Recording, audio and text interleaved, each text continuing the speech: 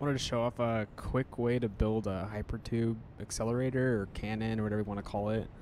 Compared to the ones where people stack like 10 entrances in a row, this one only uses three, so it's it's a, quite a bit less power and it's quick to build. So I'll show it off and then uh, talk about how to build it.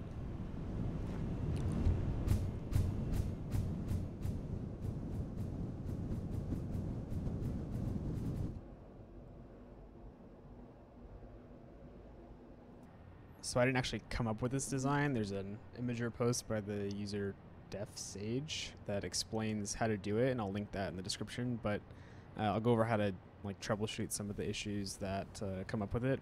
So to start, I like to have a two by two foundation grid. You're gonna want to put your first uh, hypertube support in the top left, and then you're gonna post a uh, place a second one one tick over and four ticks down and then do the same thing with a third. So one tick over, one, two, three, four ticks down. Next step is the tubes.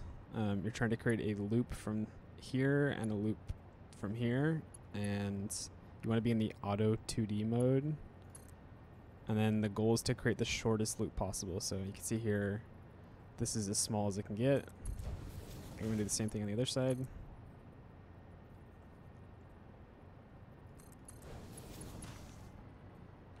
Next, we're gonna put the entrances on. So one here, one here, and one here. And then last step is the power.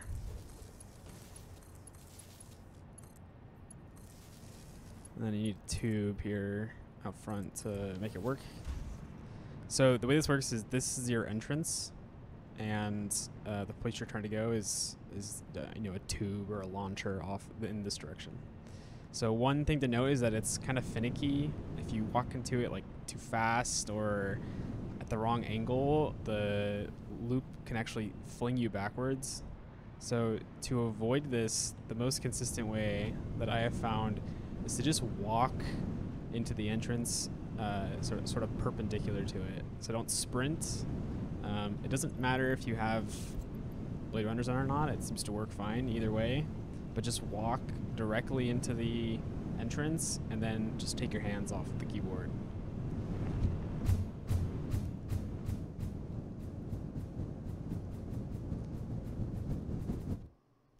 So there you go. Uh, if you do it like that, it works like 99% of the time.